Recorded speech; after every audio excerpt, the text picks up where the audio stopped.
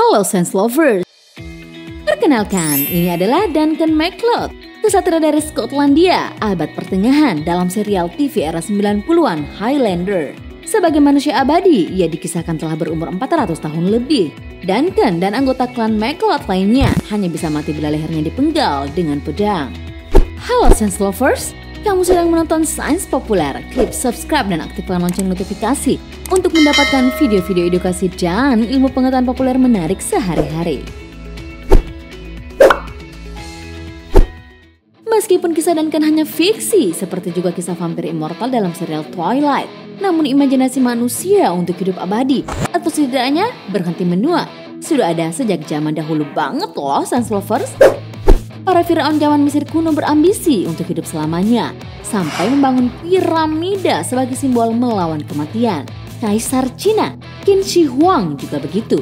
Saking berhasratnya, ia menyuruh para tabib menciptakan ramuan ajaib yang bisa membantunya hidup lebih panjang sepanjang-panjangnya. Di era modern ini, upaya menolak tua juga terus berlanjut. Karena belum ditemukan obat dan caranya, perusahaan kosmetik pun menyiasati dengan menjual produk-produk anti-aging, yakni siasat agar wajahmu tidak nampak menua. Dan tentu saja Sense laku. Tapi, apakah manusia benar-benar bisa menghentikan penuaan? Beberapa hewan bisa hidup sangat lama, seperti kura-kura, Galapagos yang bisa hidup sampai usia 170 tahun, lobster yang umurnya bisa mencapai 140 tahun, serta kerang jenis quahog pernah ditemukan berumur hingga 405 tahun. Para ilmuwan dibuat penasaran, kok bisa sih mereka seperti abadi? Ya ada matinya. Hewan-hewan tersebut dapat terus hidup, kecuali bila ada penyakit parah atau kejadian yang bisa membunuh mereka. Pada dasarnya, tubuh manusia hanyalah sekumpulan sel-sel yang jumlahnya bisa mencapai 70 triliun. Ahli genetika terkemuka Dr. Leopold Havlik pada tahun 1965 menjelaskan bahwa sel-sel tersebut membelah diri hingga beberapa kali sebelum berhenti membelah diri dan menjadi sel mati. Sel juga akan berhenti membelah diri pada kondisi tertentu, misalnya pada suhu yang sangat rendah atau beku. Namun bila mendapatkan suhu normal, sel-sel akan kembali melanjutkan pembelahan dirinya, tepat kembali pada saat mereka dibekukan. Artinya, rentang hidup sel tubuh manusia tidak akan terpengaruh dengan gangguan apa pun. Daur hidup sel manusia Sel melewati tiga fase. Pertama, adalah pembelahan sel yang cepat dan sehat. Kedua, fase pembelahan sel yang melambat. Dan ketiga, fase di mana sel berhenti membelah seluruhnya karena mencapai apa yang disebut dengan high flick limit atau batasan untuk berhenti membelah diri.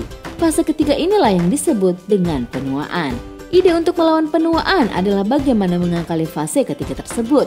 Sederhananya dengan menghilangkan inti sel tua dengan menggantinya dengan sel baru yang kemudian menyebabkan sel tua itu mengambil kehidupan baru. Jadi secara teoris sih manusia bisa melawan penuaan dengan mengganti inti sel-sel baru.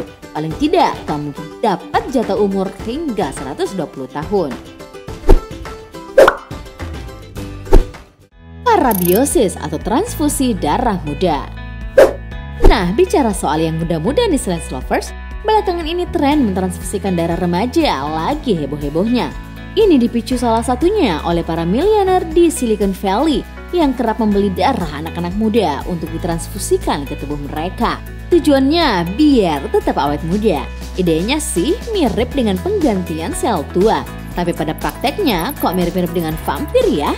Teknik yang disebut dengan parabiosis ini sebenarnya sudah marak sejak abad pertengahan. Bedanya kini, Parabiosis modern tidak sekedar memasukkan darah baru ke tubuh pasien, melainkan terlebih dahulu mengisolasi plasma dari trombosit. Soalnya yang dibutuhkan untuk awet muda adalah proteinnya.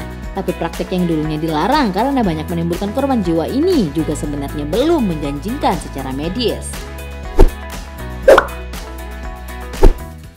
Memperpanjang telomer sel Usaha melawan penuaan juga datang dari peneliti di Houston Methodist Research Institute, Amerika Serikat.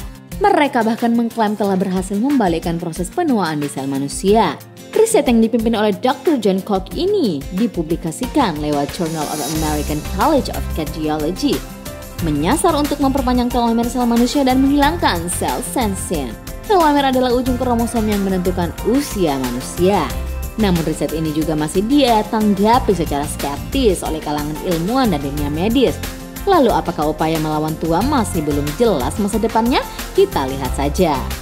So Science Lovers, bagi kalian yang juga pengen hidup umur panjang, harap bersabar ya.